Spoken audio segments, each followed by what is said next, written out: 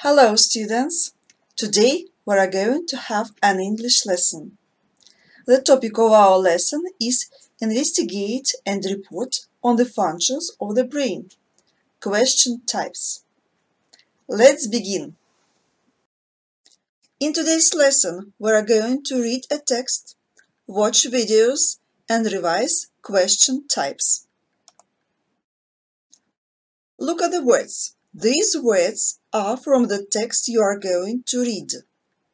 What do you think they mean? First, let's pronounce the words together. Blood pressure, body temperature, skull, hemisphere, nerve fiber, neurologist, synapse, neuron, Well done! Match the definitions to the words. Pause the video to do the task. Scan the QR code to do the task and check yourself. You will read the text one brain or two. Look at the title. What do you think the text is going to be about? As you know for biology lessons, our brain is divided into two hemispheres, left and right. Each hemisphere controls different parts of our body and is responsible for our different skills. Let's read the text to find more information on the topic. One brain or two? Although the brain is often compared to the CPU in a computer, in reality, it is far superior and far more complex. Underneath a protective skull, the brain appears to be separated into two halves, the left hemisphere and the right hemisphere. But this is not quite true.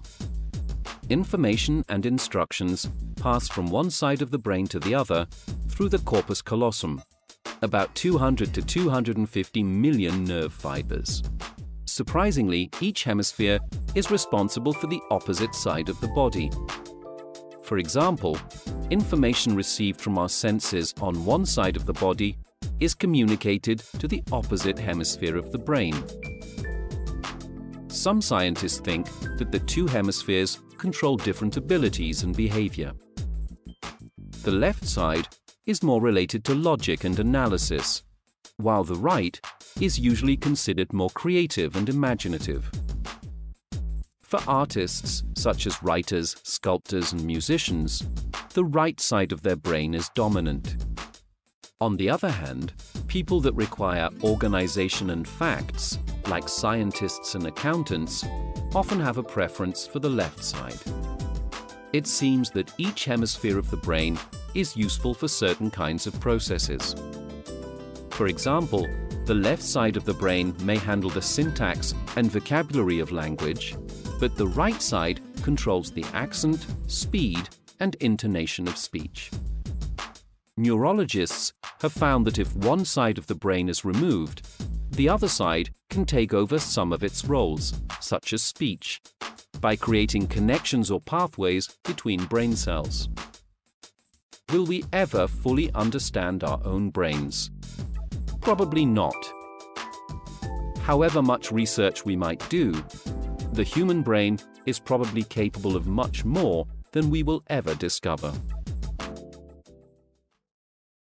You have just read the text one brain or two. Now let's check your understanding. Read the sentences and decide if they are true or false. Let's begin. Sentence 1. The human brain controls how the body works. Stop the video to do the task. That is true. Sentence 2. The two sides of the human brain are not connected. What is your answer? That is false. Sentence 3. The right hemisphere controls the left side of the body. That is true. The left hemisphere is dominant in both scientists and sculptors. Don't forget to stop the video. That is false. Sentence 5. Both sides of the brain play a role in our use of language. This sentence is correct. Good job! In the text you have just read, there are two questions. It's an amazing organ, isn't it? Will we ever fully understand our own brain? What types of questions are they? Today we are going to discuss question types. There are several question types in English, but we shall speak only about four of them. Yes, no or general questions, WH questions, tag questions, and rhetorical. Now watch the video to learn how to form these types of questions. How do we form yes or no questions in the simple present or past? First, we use do, does, or did. Do and does are for the simple present, and did is for the simple past. After that, we use the subject and the base form of a verb.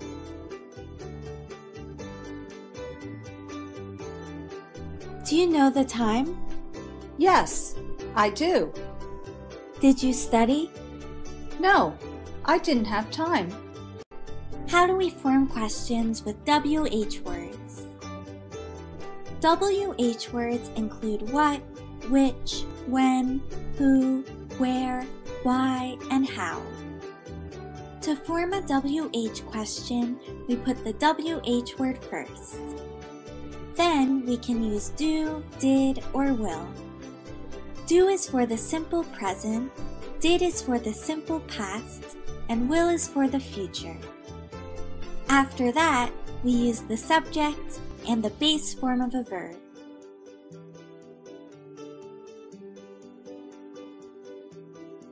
Excuse me, where does the bus stop? How will you travel to class tomorrow? Rhetorical questions. Usually, a rhetorical question doesn't need any answer. The answer is obvious both to the speaker and to the listener. When we use them, we want to emphasize the idea or to make the audience get interested in the topic of our conversation. We, uh, they also can summarize the content of a paragraph. The example of a rhetorical question is this. Will we ever fully understand our own brain? We don't need any answer. Tag questions are short questions that we put at the end of a statement. We use tag questions when we want someone to confirm or agree with something that we think is true. In tag questions in the simple present, we use do or does plus the subject. He likes apples, doesn't he?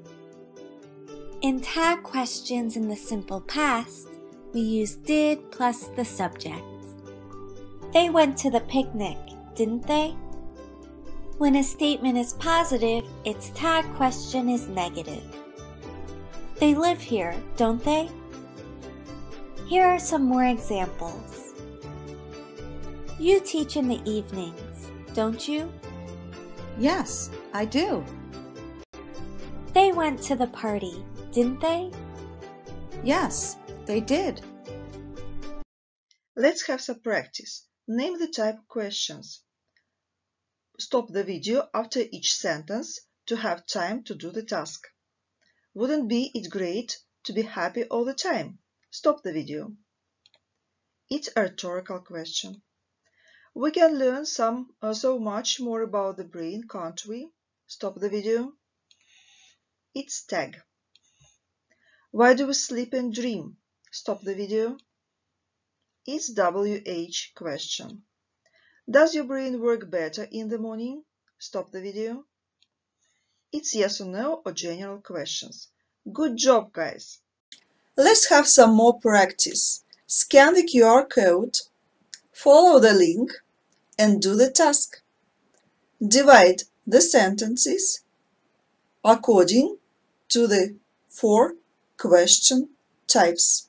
Today at the lesson, you have read the text, you have watched some videos, you revised four question types. You did great job today. Thank you for your lesson. Goodbye.